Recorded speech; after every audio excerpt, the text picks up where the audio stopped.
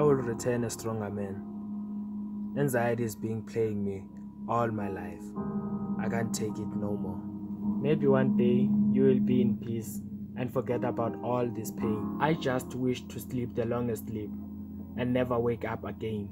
Headaches, heartbreaks, they've been playing me. I keep my head up, but my feelings are weighing me down. They don't appreciate me, they just pretend in my presence. I put my trust in you, but I kept losing both sides. This life took me for granted. Now I'm undergrounded. I'm never lost. I'm drowning. Wonder why me? I don't drag my mind, but I don't believe the things that I see at night. I got monsters in my head, freaks in my bed. I can't fall asleep.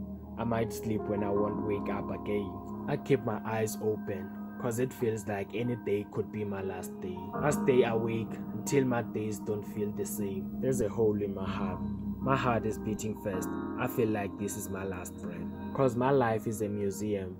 Everyone come to explore, but they never stay long. Now I feel like I'm taking in my last breath, cause I might suffocate in the next day.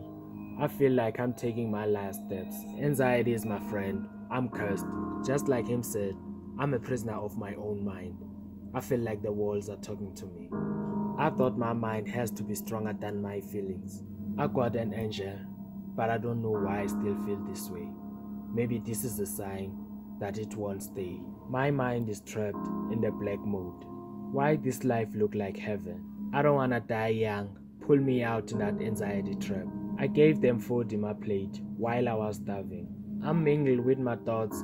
They are the ones that I talk to. I catch feelings every time I walk through.